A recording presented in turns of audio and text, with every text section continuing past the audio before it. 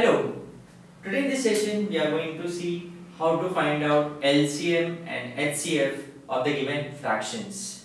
So as we have already discussed the trick that how we can find out LCM and HCF uh, of the given natural numbers in just few seconds. So if you have not seen that video please refer our video on HCF and LCM trick that is going to be useful here.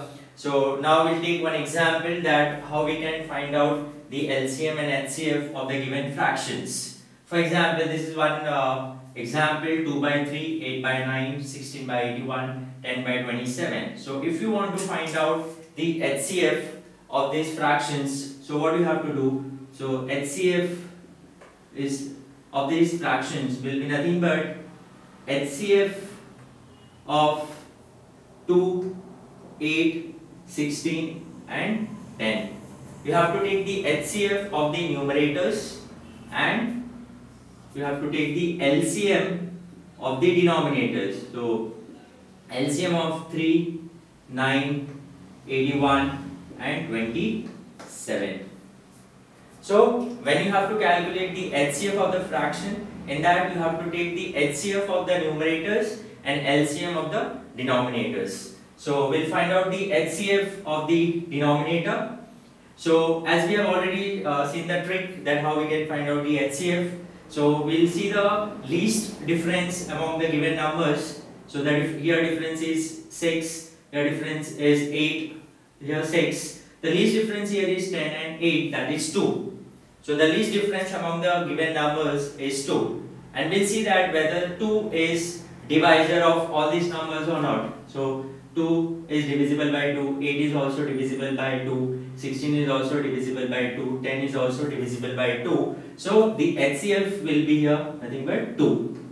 Divide by LCM of the given uh, that is the denominators. So LCM. So when we have to find out LCM, so as we have studied in the trick that will see the the greatest number among these given numbers. So the greatest number here is 81 and then we'll see that whether the uh, remaining numbers whether the remaining numbers are the divisor of 81 or not. So 3 is a divisor of 81 yes. 9 is also divisor of 81 and 27 is also divisor of 81 so the LCM will be nothing but 81 so therefore the HCF of this given fraction will be nothing but 2 upon 81 now for example, you want to find out the LCM of these fractions, LCM. So what you have to do, take the LCM of the numerators that is 2, 8, 16 and 10 and HCF of the denominator that is 3, 9, 81 and 27. So again, we'll take the LCM of the numerators. So in LCM, we see the the greatest number among the given numbers. So the greatest number here is 16. Now we'll see that whether the remaining numbers are the divisor of 16 or not. So 2 is a divisor of 16, 8 is also divisor of 16 but 10 is not a divisor of 16. Then what we do? We just multiply 16 into 2 that is 32. Now 32 is again divisible by 2 and 8 but not divisible by 10. Then we'll go for next number uh, 16 into 3 that is 48 Again it will not be divisible by 10. We'll go for the next number 16 into 4 64. 64 again is not divisible by 10. It's divisible by 2 and 8 but not divisible by 10. So we'll go for next number 16 into 5 that is 80. Now 80 is divisible by 2, 8 as well as 10. So the LCM of these numbers will be nothing but 80.